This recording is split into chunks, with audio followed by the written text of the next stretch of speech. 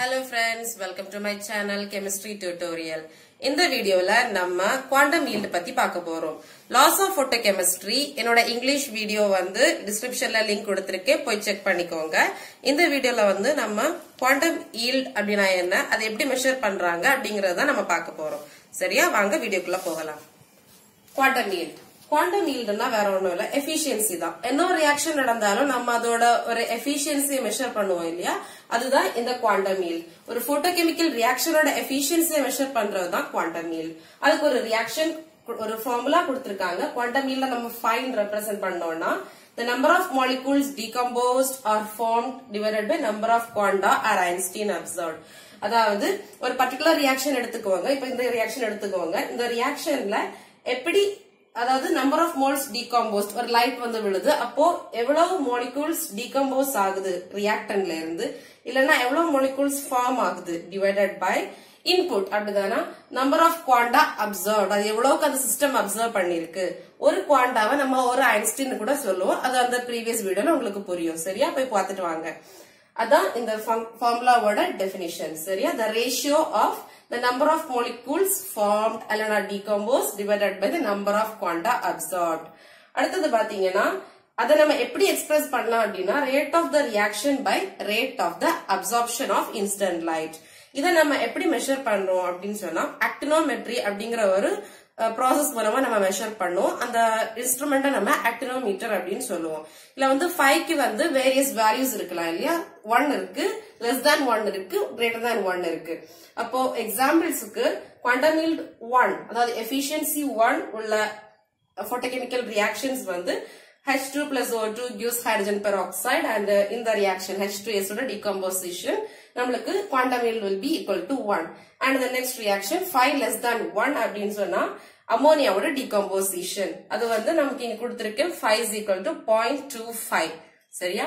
இனிமே five is greater than one அப்படின்னு சொன்னா குவாண்டம் ஈல்டு வந்து three oxygens combines to form ozone இந்த பிரசன்ஸ் ஆஃப் லைட் ரேடியேஷன் அதோட குவாண்டம் ஈல்டு வந்து டூ இதான் நம்மளோட குவாண்டம் ஈல்டோட எக்ஸ்பிளனேஷன் இனி இப்ப நம்ம பார்க்க போறது கெமிக்கல் ஆக்டினோமீட்டர்ஸ் இந்த பினாமினல் இல்லைன்னா இந்த மெத்தட நம்ம ஆக்டினோமெட்ரி அப்படின்னு சொல்லுவோம். இதோட மெயின் பர்பஸ் என்ன அப்படின்னு பாத்தீங்கன்னா measure the intensity of the incident radiation விழக்கூடிய போட்டோகெமிக்கல் ரியாக்ஷனை இனிஷியேட் பண்ணக்கூடிய அந்த இன்ஸ்டன்ட் ரேடியேஷனோட இன்டென்சிட்டியை மெஷர் பண்றதுக்கு தான் நம்ம இந்த குவாண்டம் இந்த கெமிக்கல் ஆக்டோனோமீட்டரை யூஸ் பண்றோம் சரியா? இதுல வந்து பிரின்சிபல் என்ன அப்படின்னா ஒரு ரியாக்ஷன் மிக்சர் இருக்கும். அதுல நம்ம லைட்டை பாஸ் பண்ணும்போது ரியாக்ஷன் நடக்கும். அந்த ரியாக்ஷனோட ரேட்டை வச்சு நம்ம அந்த இன்சிடென்ட் ரேடியேஷனோட இன்டென்சிட்டியை கண்டுபிடிப்போம். நம்ம குவாண்டம்களுக்கு ஃபைவோட ஃபார்முலா தெரியும். Rate of the reaction by rate of absorption இப்ப நமக்கு குவாண்டம் ஈல்டு வந்து தெரியும் அப்படின்னா அதாவது ஒரு ரியாக்ஷனோட குவாண்டம் ஈல்டு நமக்கு தெரியும் அப்படின்னு வச்சுக்கோங்க. ரேட் ஆஃப் அப்சார்ப்ஷன் அதாவது ரேட் ஆஃப் த ரியாக்ஷன் நம்மளுக்கு இந்த கெமிக்கல் ஆக்டோமீட்டர்ல இருந்து கண்டுபிடிக்கலாம். அப்போ நமக்கு ரேட் ஆஃப் அப்சார்ப்ஷன் தான் இந்த rate of அல்லனா incident intensity of the incident light சரியா? அப்ப நம்ம அதை யூஸ் பண்ணி நம்ம அந்த லைட்டோட இன்டென்சிட்டியை கண்டுபிடிக்க போறோம். இந்த ஃபார்முலா யூஸ் பண்ணி இந்த கெமிக்கல் ஆக்டினோமெட்ரி ஆக்டினோமெட்ரி யூஸ் பண்ணி கண்டுபிடிக்க போறோம்.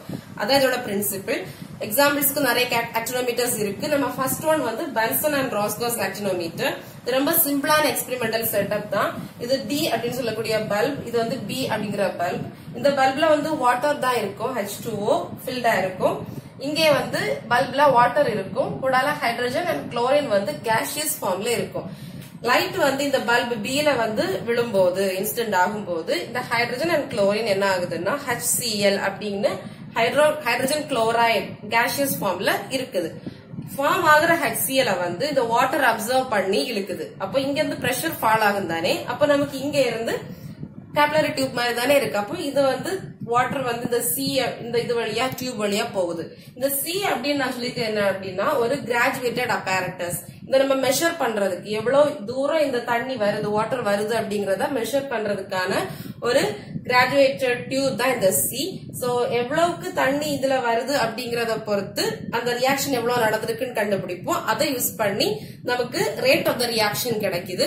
From this we are calculating the intensity of the incident light second one வந்து ஈடர்ஸ் ஆக்டினோமீட்டர் இதுல இன்வால்வ் ஆகக்கூடிய போட்டோகெமிக்கல் ரியாக்ஷன் இதுதான். HgCl2 and ammonium oxalate gives ammonium chloride carbon dioxide evolve ஆகுது. மெர்குரஸ் குளோரைட் precipitate ஆகுது. இதுல mercurous குளோரைடோட வெயிட்ட measure பண்ணி அதை வச்சு இந்த ரியாக்ஷனோட ரேட்டை மெஷர் பண்றாங்க. அதுல இருந்து நமக்கு இன்டென்சிட்டி கண்டுபிடிக்க முடியுது. இது வந்து இடஸ் ஆக்டினோமீட்டர் தேர்ட் ஒன் வந்து வந்து யுரானில் ஆக்சிலேட் ஆக்டினோமீட்டர் இதுல வந்து point nought five molar oxalic acid எடுக்கிறோம். கூடவே uranyl sulphate dissolve in water எடுக்கிறோம். ரைட் லைட் ரேடியேஷன் ஃபால் ஆகும்போது uranyl ion act is the photosensitiser uranyl ion லைட்டை அப்சர்வ் பண்ணி ஆக்சாலிக் ஆசிடோட டீகாம்போசிஷனை இனிஷியேட் பண்ணுது. இப்போ எவ்வளவு ஆக்சாலிக் ஆசிட் டீகாம்போஸ் ஆயிருக்கு அப்படின்னு கண்டுபிடிக்கிறதுக்கு நம்மளோட நார்மல் டைட்ரேஷன் தான் with K MnO four so அதுல இருந்து rate of the decomposition of oxalic acid கிடைக்குது. From that we are calculating the intensity of light and அதோட குவாண்டம் மீல்டு இந்த ரியாக்ஷனோட குவாண்டம் மீல்டு வந்து பாயிண்ட் ஃபைவ் இந்த ஆக்டிலோமீட்டரோட ஒர்க்கிங் ரேஞ்ச் வந்து two naught eight to four thirty five nanometer சரியா? Third one வந்து எம்ஜிஎல் ஆக்டினோமீட்டர் அதாவது மெலாக்கெட் கிரீன் லியூகோசைனைட் ஆக்டினோமீட்டர் இதுல என்ன நடக்கு அப்படின்னா லைட் ஃபால் ஆகும்போது இந்த எம்ஜிஎல் மெலாக்கெட் கிரீன் லியூகோசைனைட் வந்து அயனைஸ் ஆகி எம்ஜி பிளஸ் மாறுது. இந்த ரியாக்ஷனோட ரேட்டை கண்டுபிடிக்கணும். குவாண்டமில் நமக்கு தெரியும் பாயிண்ட் நைன் ஒன் அண்ட் இதோட ஒர்க்கிங் ரேஞ்ச் வந்து two twenty to three hundred nanometer வந்து ஃபெரி ஆக்சிலேட் ஆக்டினோமீட்டர் இது வந்து டெவலப் பண்ணது யார் அப்படின்னா பார்க்கர் அண்ட் ஹேச்சர்ட் அதுக்கப்புறமா இதோட ரியாக்ஷன் என்ன அப்படின்னா photo decomposition of potassium ferri oxalate அதாவது லைட் வந்து ஃபால் ஆகும்போது ஆன் ரேடியேஷன் இந்த பொட்டாசியம் ஃபெரி ஆக்சிலேட்ல உள்ள Fe three plus is reduce to Fe2 two plus இதோட குவாண்டம் ஈல்டு வந்து ஒன் பாயிண்ட் டூல இருந்து ஒன் பாயிண்ட் செவன் அந்த ரேஞ்சுக்குள்ளாடி இருக்கும். அதுக்கப்புறமா இதை வந்து எப்படி எஸ்டிமேட் பண்ணுவாங்க? எவ்வளவுக்கு எஃப்இ த்ரீ பிளஸ் எஃப்இ டூவா மாறி இருக்கு அப்படின்னு எஸ்டிமேட் பண்ணுவாங்கன்னா கலரிமெட்ரிக்கலி இதோட ஒர்க்கிங் ரேஞ்ச் அதாவது கலரிமெட்ரிக்கலி எத்தனை என்ன வேவ்லன்ஸ் பிக்ஸ் ஃபிக்ஸ் பண்ணுவாங்க அப்படின்னா ஃபைவ் டென் நானோமீட்டர் அதாவது டீப் ரெட் கலரோட நானோமீட்டர் அதோட வேவ் லெங்க் தான் இந்த ஃபைவ் டென் இது வந்து நீங்க எம்எஸ்சி கெமிஸ்ட்ரி ஸ்டூடெண்ட்ஸ் வந்து பிராக்டிகல்ஸ்ல பண்றதுதான் கலரி கலரிமெட்ரி உங்களுக்கு தெரிய வாய்ப்பு இருக்கு. இதோட இந்த ஆக்சிலோமீட்டரோட ஒர்க்கிங் ரேஞ்ச் வந்து டூ பிப்டில இருந்து five seventy seven nanometer sixth one வந்து ரெனிகேஸ் சால்ட் ஆக்டினோமீட்டர் ரெனிகேஸ் சால்ட்னா இந்த அமோனியம் சால்ட் தான் ரெனிகேஸ் சால்ட் ஆனா இந்த ஆக்டினோமீட்டர்ல நம்ம யூஸ் பண்ணக்கூடியது வந்து பொட்டாசியம் சால்ட் இதுல வந்து ரியாக்ஷன் என்ன அப்படின்னா லைட் ஃபால் ஆகும் போது அதாவது irradiation irradiation aquation of the complex circles அதாவது இந்த தயோசைனேட் இருக்கு இல்லையா இந்த குரூப் வந்து ரிமூவ் ஆயிட்டு அதுல வந்து வாட்டர் சப்ஸ்டியூட் ஆகும். அதான் aquation of this complex occurs and நம்ம குவாண்டம் ஈல்ட் எப்படி கால்குலேட் பண்றோம் இந்த ரியாக்ஷன்ல அப்படின்னா number of thiocyanates released per einstein absorb over einstein absorb ஆகும்போது எவ்வளவு என்சிஎஸ் வந்து வெளியில போகுது அப்படிங்கறது தான் அதோட ரேட் அதான் குவாண்டம் ஈல்டு நம்ம இதுல மெஷர் பண்ணக்கூடியது.